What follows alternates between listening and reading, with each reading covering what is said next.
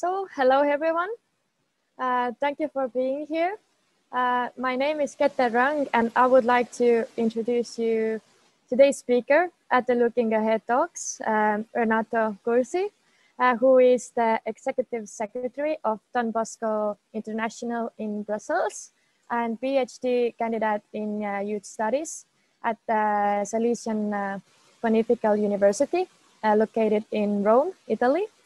Today, he will talk uh, us more about the transitions, how young people grow up in a family and soon find themselves on a journey to build their own family. And he will tell us uh, what can make uh, youth transitions smoother in spite of the challenges that we are facing today. So after the presentation, uh, all of you are really welcome to ask questions. You have 15 minutes for that. And now I will, I'm honored to give a stage to Renato, go ahead. Thank you very much, Getter. Thank you very much for this introduction, and thank you very much to all of you for uh, sharing this time together online, wherever you are. So uh, I prepared a few slides uh, with some pictures as well to facilitate myself in the presentation. So I will share my screen. Okay. If you have problems, just let me know. Otherwise, you should be able to see it. Okay. So I start so that we save some time for the questions and answers. Um, okay. Voila. Uh, as uh, Getter said, I'm today in Brussels uh, since August uh, 2019. I find myself here in Brussels. Uh, but I come from Rome, Italy, uh, where I lived uh, most of my life. And I also spent one year, one full year in Paris because of an Erasmus exchange at the time of university. there, I attended a master in European studies, learning French language. And now I'm still studying uh, because I'm completing completing a PhD in youth studies uh, with the Salesian Pontifical University in Rome, uh, hopefully next year I should finish. Um, and uh, yeah, because lifelong learning is important, you know, so I keep on studying somehow. And I would say that the, the choice of this field of studies, uh, the youth studies, is a fruit also of my still short and limited professional career. So today with you, I would like to highlight the importance of peer support community services, and intergenerational dialogue in youth transitions to adulthood. So I will share my personal experience and share also some reflections that may be useful for everybody. So let me start uh, from the next picture. Okay, this is a group of young animators and educators of the Don Bosco Youth Center in Rome, Italy, here we were on a daily community retreat in the mountains not far away from Rome. So Don Bosco uh, centers are called homes uh, because they are meant to be a place where young people can feel at home, can feel uh, what we call a family spirit. Because uh, around 200 years ago, Don Bosco created schools, colleges, shelters, and vocational education and training centers as well, especially for vulnerable young people. Uh, me and my wife, Benedetta, uh, she's there. Yeah, uh, we met thanks to Don Bosco Sports uh, summer camps, where we were both learning to become uh, respectively uh, basketball and volleyball trainers. So at the time, I was studying international relations in Rome, and she was studying medicine in Florence, Italy. So when we got married six years ago, uh, she moved from Florence to Rome. She came to Rome to start the specialization in public health. So when we decided to get married, I was still in a temporary job after one full year of internships in Rome. So in spite of these economic uh, uncertainties, we decided to move on. So uh, our family supported us, of course, but uh, we believed that opportunities for jobs would have come in the future, and they did. So, in the time free from work, uh, as a young uh, couple, we both attended the Don Bosco Youth Center in Rome, where I grew up as a scout, a basketball player, basketball coach, and also as an educator of youngsters. We were able to learn from peers and older people as well in a community where we felt like in a family. And we were also able to give back what we had received by animating a group of youngsters as educators in the youth center. So as a young couple, we also had the chance of joining a group of young couples of the same community. Indeed, these other couples with young children were either volunteering as educators in the youth center or professionally working as educators in the youth care services attached to the center. So here we, once again, we are in this picture, once again on a daily retreat out of Rome. This was, uh, I think, the picnic uh, by the lake moment. Um, and I think that uh, spending time on a journey together with other families is very important to make this transition easier. So at a given moment, two years ago, with my wife, uh, we had the chance to consider the possibility to move to Brussels. We had already become parents of Irene, who is here, Eden here, but uh, she um, she's now three three years and a half. Uh, Benedetta was finishing her specialization in public health, so she was ready to embrace a new step in her career as well. And I had been working five years in the Don Bosco General House in Rome on international youth programs. So the three of us, we moved to, together to Brussels in August 2019. And now I'm working for Don Bosco International. My wife at this very moment is at home because we have recently become four. Uh, one month ago, indeed, Emanuele was born here in Brussels in the midst of this pandemic, uh, good news. And uh, here too, once again, we found a community with a family spirit. Here in Brussels, the Salesians of Don Bosco are older than the ones we knew in Italy, but they still welcome young students or professionals who are looking for financially sustainable solutions for accommodation while they complete their transition to adulthood.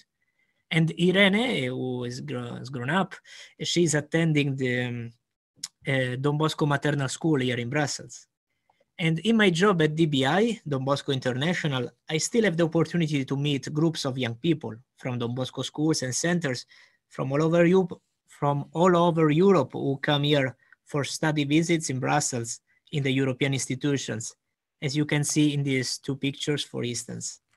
So I can listen to the questions and the visions of young people on Europe, and I can explain to them what we try to do here in Brussels to advocate for better policies, promoting the social inclusion of poor and vulnerable young people and their families.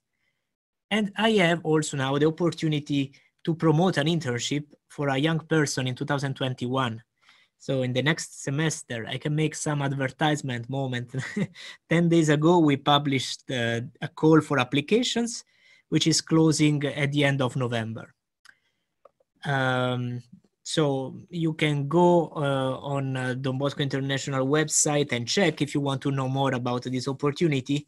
But uh, my message to you today would be that as far as it is possible, young people should be supported to develop a holistic, integral transition to adulthood. So growing is about choices, of course. And the transition from school to employment is key, that's clear. But I think that the narrative on youth transition, uh, youth transitions uh, should include families too. And so I think that uh, IFFD is working a lot on that, and I thank you for that. And I thank you all for your attention. I stop sharing, and I'm now ready to listen to your comments, questions. Um, thank you for this invitation.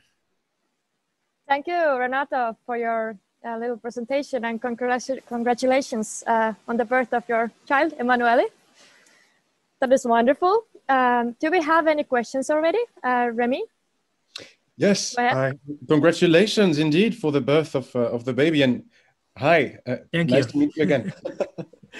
Uh, I, I, I, have a question. Um, would you have comments on the difference between the, the former generations? You know, the generation of our grandparents was not too much option in life choices. So that i mean they most likely they they they uh, half of them would consider the advice of their parents or just do the same as their parents. And now the young the younger generations they face a world where they are told that they can embrace endless possibilities.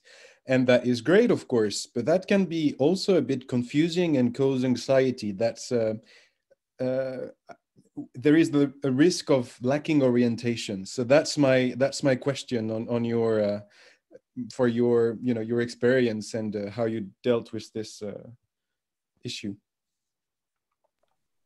Thank you remy. And uh, yeah i tried to to reply somehow.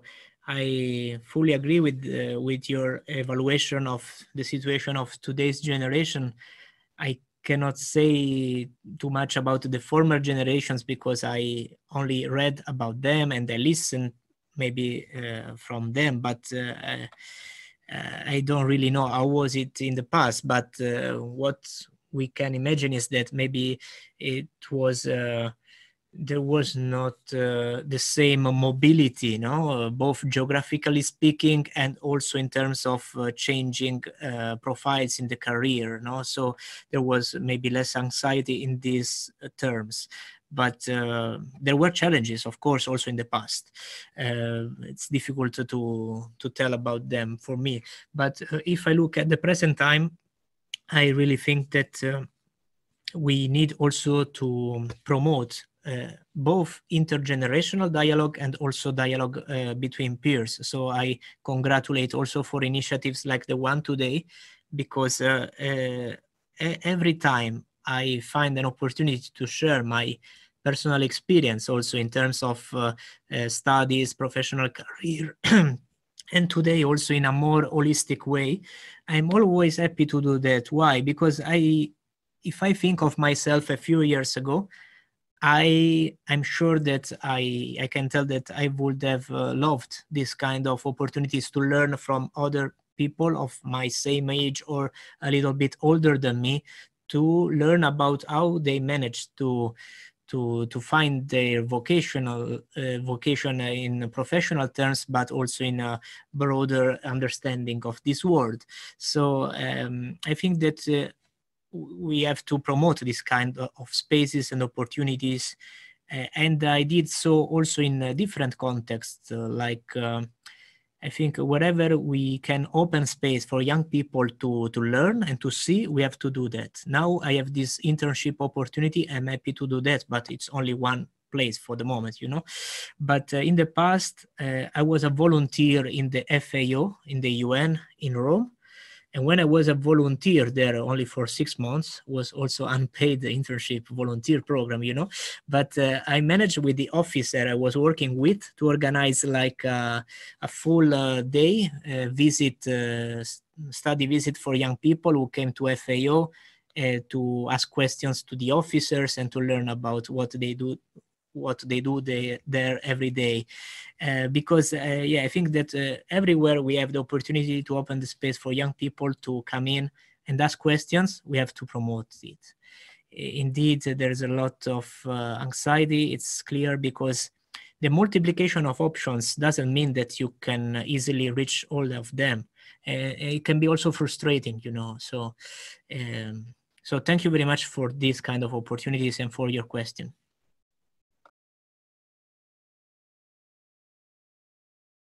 So we have a question uh, from Evan. Would you like to speak or I would just, uh, I can take it for you as well. Uh, he would like to know if you could tell us a bit more, uh, what would we do during uh, this internship? Like he's inter interested in the internship. What is it about? Yeah, thank you for this question. Um, indeed, uh, as I said, all the details are online, so you can uh, go into the news section of DBI website and uh, it's public and uh, quite transparent in this sense. It's very similar to um, a lot of um, other internships in uh, Brussels um, because um, many civil society actors like Don Bosco International organize uh, this kind of programs. And uh, we decided to open this internship as a way uh, of reacting to the pandemic. Why? Because uh, the pandemic now is affecting a lot of uh, opportunities for young people, and the um, the fact that it's not possible to do physical events in Brussels anymore is uh, is putting limits. No, but uh, we want to react in a resilient way. So the the idea is to promote uh, like a remote virtual internship in the beginning, but with the possibility, if the conditions are there, also to come physically to Brussels and contribute to the work what the work is about. Uh, yeah, in Don Bosco International, as I said, is here to advocate for the social inclusion of children and young people uh, through education, especially. So we attend a lot of meetings, conferences, events. We also organize or co-organize events uh, at the moment a lot of webinars you know that's why it can be do also remotely um, so that from your home you can connect and contribute.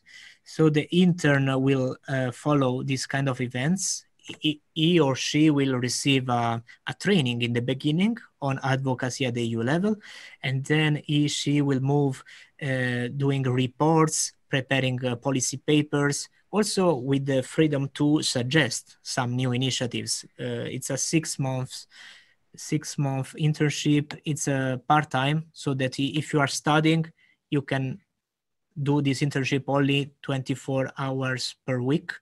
And it's uh, quite flexible. It's about coordinating with the executive secretary it's me.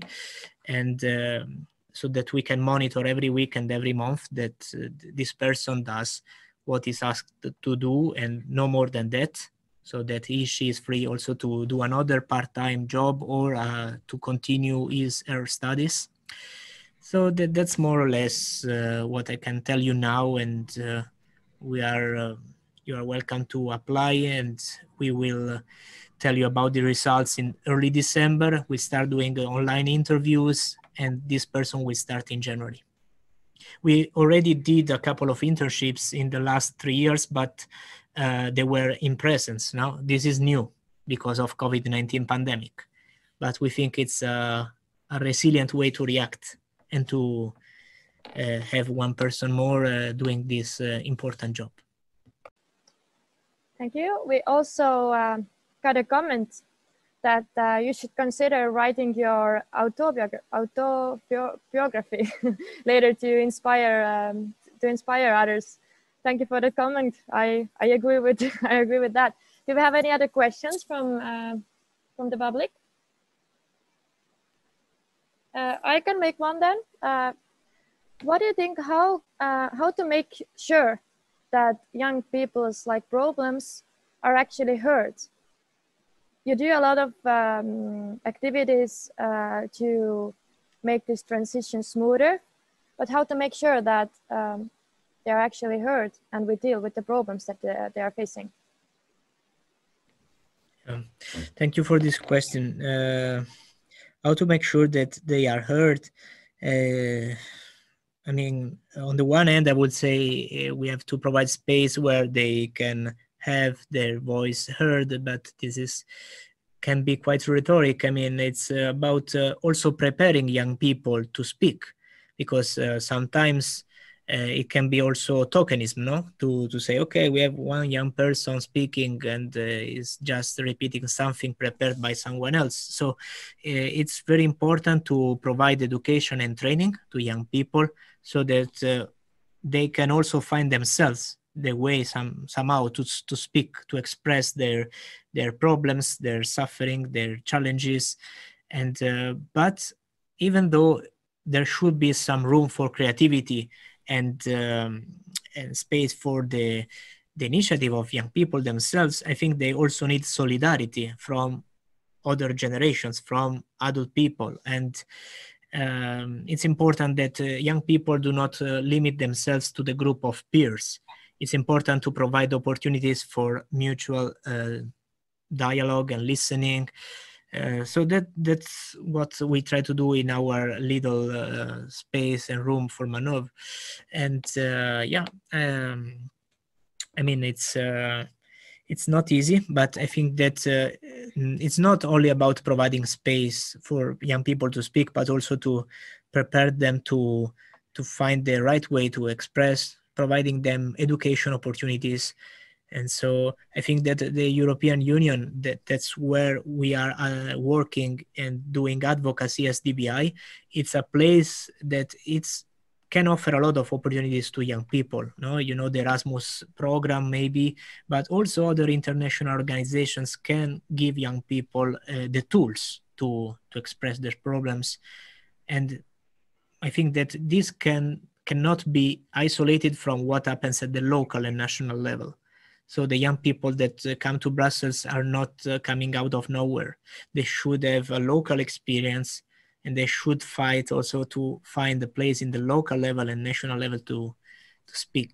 Otherwise it doesn't make sense if it's only in, these uh, organizations no? Somehow they feel these organizations organizations a little bit far away from daily life so we have to make sure that the connection is there and i see there are other questions uh, yes, uh, Ignacio gave a good suggestion that you can easily turn on your camera and uh, participate. Uh, it's really welcome. Uh, if you have any questions, uh, Jose? I have, yeah. Have a question? Yeah. Hi, Renato. Thank you for your. and I was going to ask you, since you're you're at the European Union, which one of the initiatives or possible interventions that the European Union is thinking for that post-COVID era would you kind of definitely voucher for and would definitely add or improve from your perspective from either transitions or youth mm-hmm. development? Thank you. Yeah. Thank you alex and uh, for the, the question and uh, I also reply to one question shortly that it's in the chat uh, before. Um, so there is a question from Chiara if the internship is open to both masters and bachelor uh, degree students it's open to both because i we didn't uh, want to to make uh, explicit limitation no to the applications. It will depend on the applications we receive because it can be also bachelor, bachelor uh, degree student students but uh, um, um, how to say no it's uh, we don't want to limit because maybe we find a very enthusiastic and uh, a person who only has bachelor degree but a lot of uh, different experiences also informal ones uh, so it, it's uh, difficult to tell now but uh, uh, of course the ones who have the master's degree maybe they, they have more skills in one sense but the, the, the call is open also for bachelor ones. Okay, and now I come back to the question of Alex. Uh, so the European Union, there are indeed a lot of programs and opportunities, um, and there are two colors that are becoming very common uh, when they talk about the future after COVID. They're talking about the blue and the green the blue is not for the sea and the water but is for the digital. And the green is about the ecology on the one hand and the sustainable development on the other hand uh, so the blue and the green uh, um, when it comes to recovery the european union is talking a lot about uh, you know the importance of uh, providing the new generations with digital skills and also green skills uh, so sustainable energy sustainable development um, but uh, our uh, concern as Don Bosco International at the moment in Brussels is also about uh, the, um, okay, together with the education and skills agenda, we are also concerned about the new youth employment support initiative. Why? Because uh, luckily the European Union will put a lot of money in uh, these funds for uh, to support young people in their transition from education to employment. They are uh, reinforcing a youth guarantee. They are launching a child guarantee for uh, poor families and that's great. But we are concerned as Don Bosco International, together with other organizations in Brussels, because uh, sometimes when there are these youth employment uh, initiatives, youth guarantees, the ones who profit the most out of these uh, in uh, of these uh, initiatives are the young people who are already equipped a lot uh, who already have a lot of skills uh, who are just waiting for this kind of opportunities. And th- that's okay. I mean it's not uh, a problem. But the problem is that the ones left behind are the most vulnerable young people who are not in employment, education, and training uh, from long time. So we advocated and we will insist also at the national level so that young people with uh, most uh, difficulties who drop out of schools um, they are not left behind at all.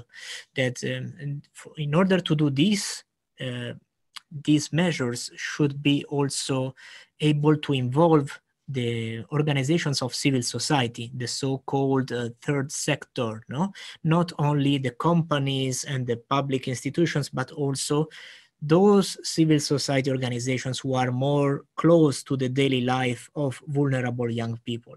And that's what we try to insist on at the moment. Thank you for your question. We have some questions in the chat. We can take some more. Uh, how many countries have you visited? Is um, one of the questions. okay. How many countries? Okay, before COVID, because uh, after COVID, it's only Belgium and Italy during summer, but uh, I would say in the European Union, I think around 20 countries out of the 27 uh, what at the moment in the European Union, and beyond Europe, a few ones. Uh, only I think Guatemala, Panama, People's Republic of China, uh, Lebanon, Israel, um, more or less that's it i think. So still a lot of uh, countries to visit and things to learn. But I you have a lot of experiences from from different uh, cultures and countries. That is wonderful. And also uh, there is a question uh, about uh, what could be the best advice uh, you could give to your younger self? I wish i had known that yeah, that's that's a wonderful question. So congratulations for the question. I'm not sure I know the answer, but I um, I would say yeah that uh, okay it's important to study a lot. So I, studied hard, I think, but I would say to myself you have to study even harder than you did. but uh, I would confirm to the younger myself that. Um, that relationships are very important, that uh, love is important, and uh, one and should uh, build his life also, uh, especially on that, no? love, friends, relationship, and maybe I would uh, tell myself that I, I should have uh, um, take more care of this relationship and friends sometimes, but it's important to rely on this uh, and and to find look always for support uh, from friends communities that's really important families um, yeah and to and to yeah beyond uh, studying more than i did also doing more than i did to to give back what i received yeah that's it. I, am not sure that the book would be the autobiography would be the solution, but this kind of opportunities like today, I think, can be inspiring for other people, and it's also inspiring for me to listen to your stories. I'm sorry to interrupt, but you know that time is of the essence in these meetings. So I'm afraid we have reached to the end. But just before finishing, I would like to ask you if it will be okay, because I've got some suggestions to have these meetings in the European evening. So if we moved it in the future from say two o'clock to seven o'clock, five hours later, can you raise your hand if you are okay with that or or don't if you if you don't? Okay, I see one, two, three, four, still not very much. While you do that, I'm going to share here. Uh, yeah, okay. Let's see. Yeah, okay, I think everyone, I don't know about Chiara, for instance, if she would agree. Or, or Catherine is very important because she's going to be the next one, by the way. So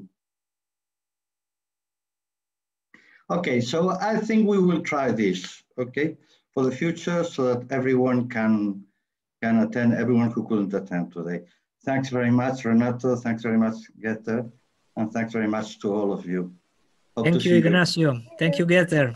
Thank you, everybody.